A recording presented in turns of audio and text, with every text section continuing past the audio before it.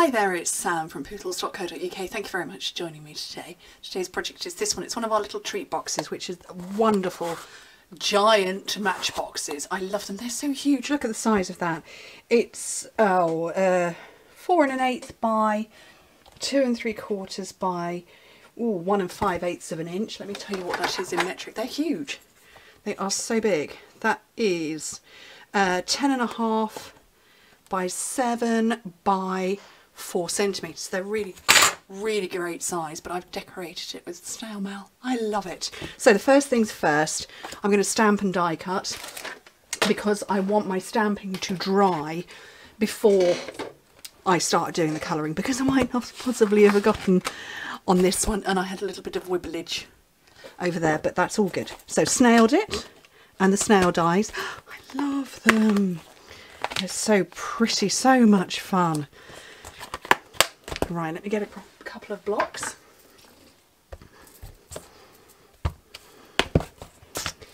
And so when I use Memento, my technique is twist, tap, and then I get a nice even coverage. Look at that, perfect. And then this one.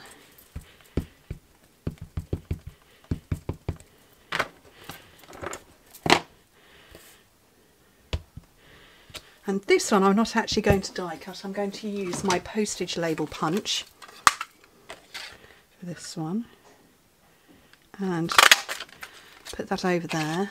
And I'm going to get my little mini cutting emboss. I love this thing. Where are my plates? There's one. There's another. And get a little post-it note ready and the dies would be helpful. Getting the dies out would be useful. Right, so that one it is. So I'm just lining that up. Where's the sticky end? Sticky there. And there. Here's my other clay plate.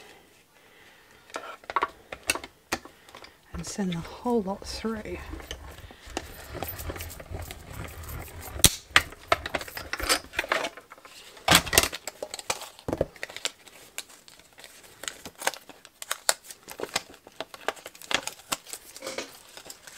And then what I can do, those two, which are now out of view, those two can fully dry before I start doing colouring. Okay, all this clutter off my desk. So, what I'm going to do is I'm going to put designer series paper on this. So, what did I say it was? Oh, just dropped my ruler. So 10 and a half centimetres by 7. So I want to cut my designer series paper, and I'm not going to do the bottom, down to, so I want 10, what did I say? Oh, 10 by 7, so I want six and a half. 10 by six and a half. So that's going to be my bit that sits on the top. And I've got the width already. So that is four centimetres, which means I need to cut two of these at three and a half.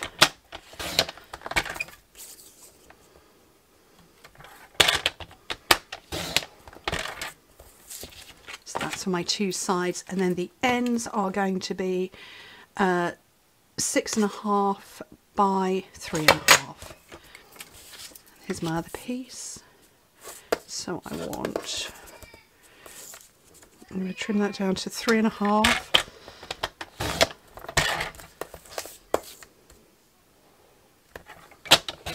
Six and a half and six and a half and that's from one sheet of designer series paper because those are my three pieces left. Fabulous. Okay, so these boxes are very simple to put together and to make. This is obviously the inside So you just fold backwards and forwards.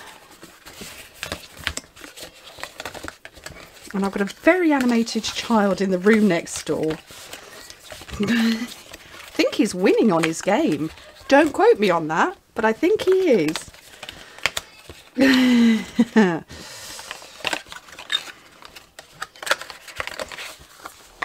okay. Oh, I need to put that bit in there.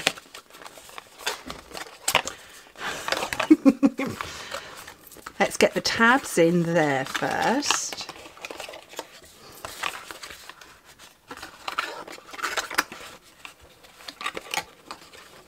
And that one, there we go. And that one.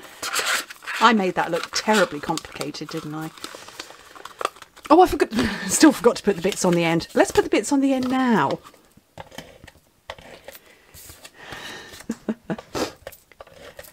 Let's try that again. Okay.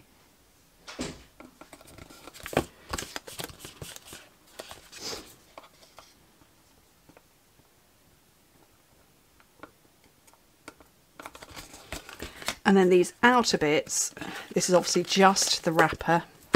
So quite simple, the top and two sides.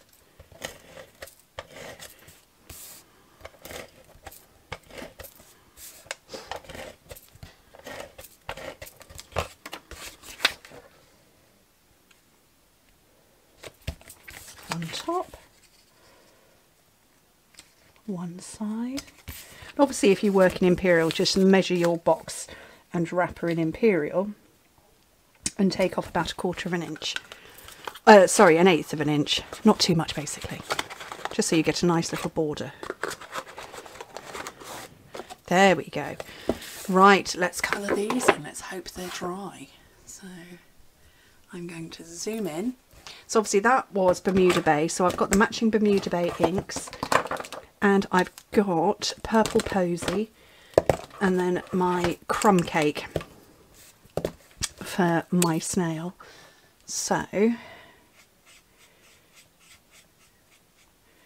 just going to go over a bit there with the dark first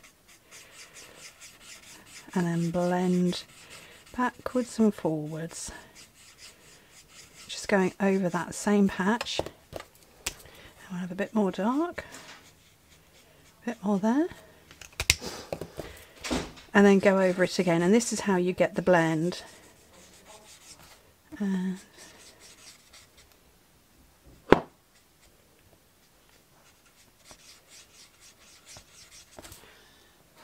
and you can see that has blended nicely easy.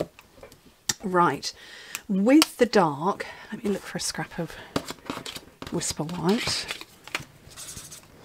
What I'm going to do is I'm going to follow the spiral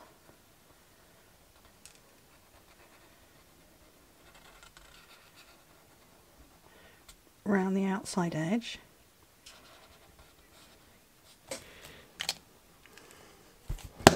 and then go over it with the light. So again I'm just following the spiral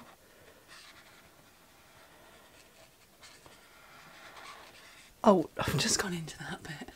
But I'm just going to keep working over it and expanding my area a little bit. And that's how you build up the colour.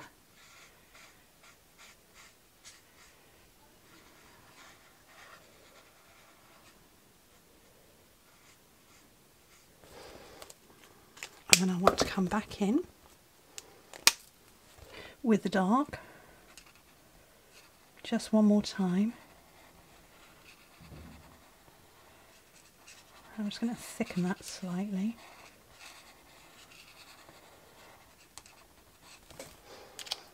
You can see the definition there, but as I blend it,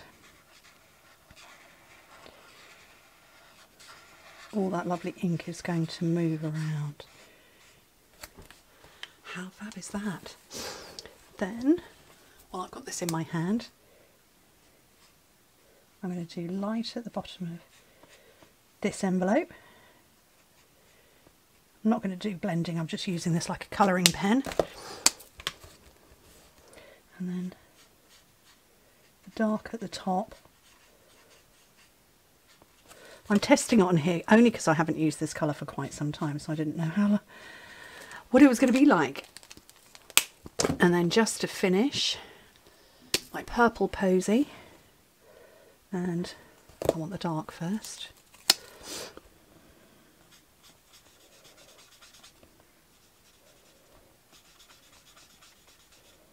Just at the bottom of the parcels. And push that colour up a little.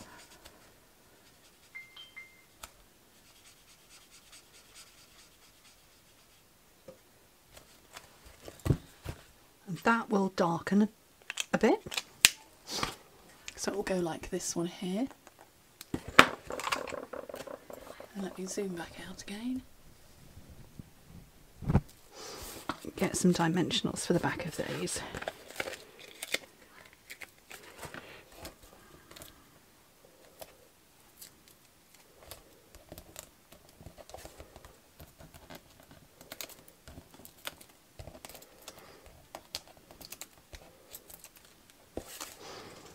Happy Mail enclosed. You could put some nice yummy little treats in that, couldn't you?